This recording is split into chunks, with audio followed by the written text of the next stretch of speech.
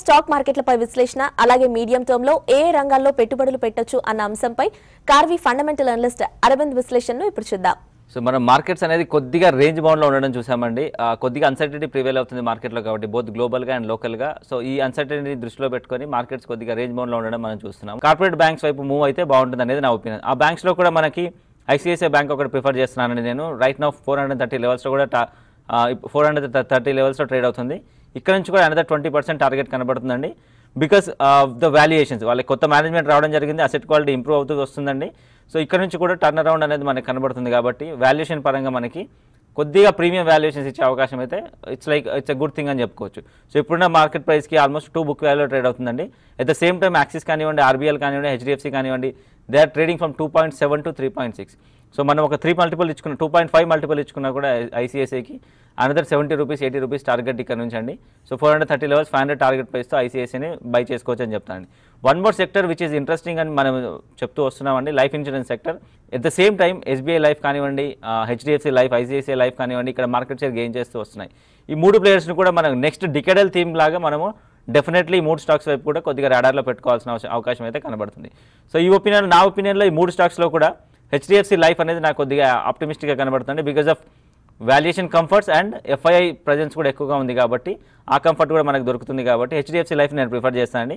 So next ten years down the line వ్యూతో HDFC లైఫ్ని మీరు pick చేసుకోవచ్చండి. హౌసింగ్ ఫైనాన్స్ కంపెనీస్ పైన కూడా మనకు ఆర్బీఐ రిపోర్ట్ రావడం జరిగిందండి. కంటాజియన్ ఎఫెక్ట్ ఉండే అవకాశం కనబడుతుంది. ఒకవేళ ఒక హౌసింగ్ ఫైనాన్స్ కంపెనీ ఫెయిల్ అయితే దాని effect will be same as like bank fail అయితే ఎలా ఉంటుందో అలాంటి ఎఫెక్టే ఉంటుంది. అండ్ ఆ కంటాజియన్ ఎఫెక్ట్ కూడా మనకు ఉండే అవకాశం కనబడుతుంది కాబట్టి హౌసింగ్ ఫైనాన్స్ కంపెనీస్ని సెలెక్ట్ చేసుకోవడంలో కొద్దిగా కేర్ఫుల్గా ఉండాలనేది నా ఒపీనియన్. అండ్ ఇంకొక సెక్టర్ అండి స్పెషాలిటీ కెమికల్స్ గురించి మనం మాట్లాడుతూ వస్తున్నాము. దీంట్లో నా ప్రిఫరెన్స్ వచ్చేసి ఎస్ఆర్ఎఫ్ అని మనం పదే పదే పదే చెప్పుకుంటున్నామండి. ఆర్తి ఇండస్ట్రీస్ కూడా వన్ ఆఫ్ మై ప్రిఫరెన్స్ అని చెప్పుకోవచ్చు అండ్ పిఐ ఇండస్ట్రీస్ కూడా. ఎందుకంటే వీళ్ళు almost chemical sector speciality chemicals especially and agro chemical sector PI industries లాంటి స్టాక్స్.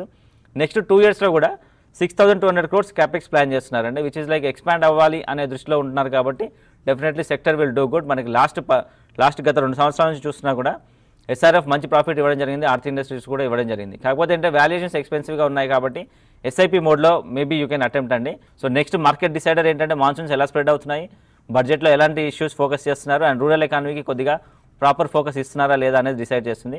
అండ్ దాంతోపాటు మనం జీ ట్వంటీ సమిట్ కూడా జరగడం చూసాము. కాకపోతే ఏంటంటే it was more like a trade deals అని చెప్పుకోవచ్చండి.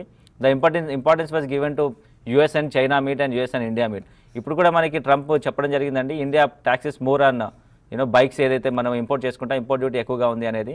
మన వాళ్ళ అలిగేషన్ బట్ మనం కూడా ఆల్మోస్ట్ ఒక రీటాలియేటరీ టారిఫ్స్ కింద ట్వంటీ ఎయిట్ గూడ్స్ని మనము టారిఫ్స్ పెంచడం జరిగింది.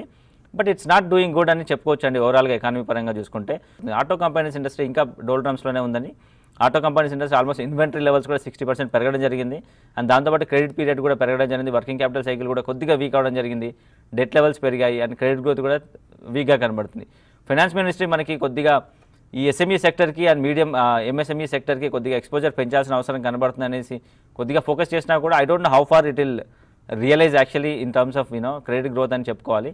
సో ఓవరాల్గా మనం ఏంటంటే కొద్దిగా వెయిట్ అండ్ వాచ్లో ఉంటే బెటర్ అండి. నెక్స్ట్ సిక్స్ మంత్స్ వరకు కూడా మనకు కొద్దిగా అన్సర్టెంటీ ప్రివేల్ అయ్యే అవకాశం కనబడుతుంది because of various things like budget ఎలా ప్యాన్ అవ్వబోతుంది అండ్ ఎలాంటి సెక్టర్స్ ఎఫెక్ట్ అవ్వబోతున్నాయి. అండ్ దాంతోపాటు ఎన్బిఎఫ్సిస్లో లిక్విడిటీ క్రంచ్ ఏదైతే కొనసాగుతుందో దానికి కూడా రిజాల్వ్ అవడానికి another two quarters will take అండి.